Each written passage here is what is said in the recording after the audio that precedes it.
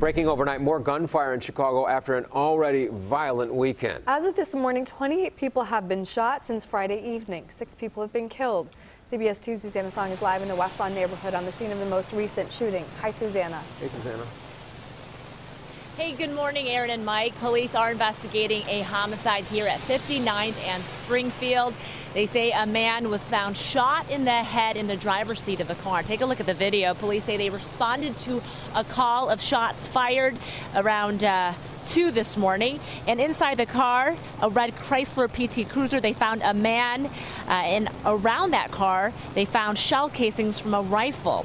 This comes on the heels of a violent weekend. Police say 28 people were shot since Friday evening, six fatally. A 40 year old man was shot in the leg overnight during a shooting on Lakeshore Drive. Police say a car pulled up next to his at a stoplight and started shooting. He is in stable condition.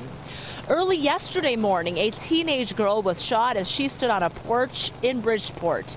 Police say she was shot in the head and stomach, and she is in critical condition this morning. This happened a block or two from Superintendent Eddie Johnson's home. This all comes less than a week after the Chicago Crime Fighters Conference, where police chiefs from all over the country came to town to learn from Chicago police because of their successes last year on reducing crime. Ironically, this weekend takes away from any of that good publicity.